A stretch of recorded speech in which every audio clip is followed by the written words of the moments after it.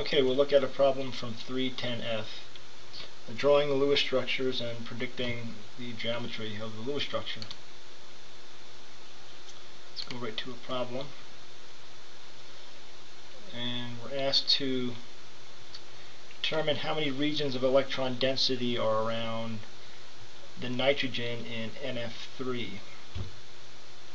Lewis structure for NF3 is right here and we can see that there are three single bonds and one lone pair on the nitrogen. So this is a total count of four regions of electron density. This would be four.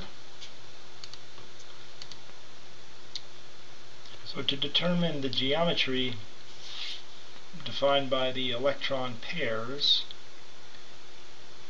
and this would mean electron geometry or electron pair geometry as I described in the one video.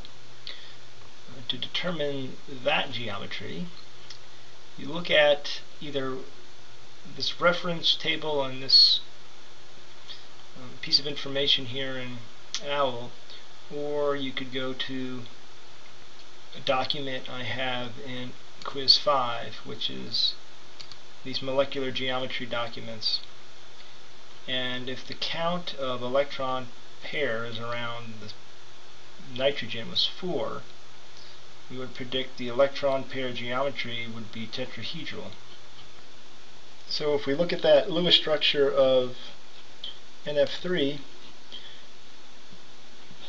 there's one lone pair around nitrogen, so we could say that there's one unshared pair around the nitrogen, lone pair, unshared pair, same thing.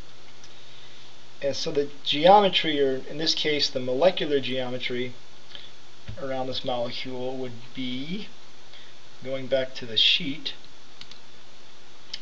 if the electron geometry is tetrahedral because there's four pairs, the molecular geometry more specifically is trigonal pyramidal because there's one lone pair and three single bonds.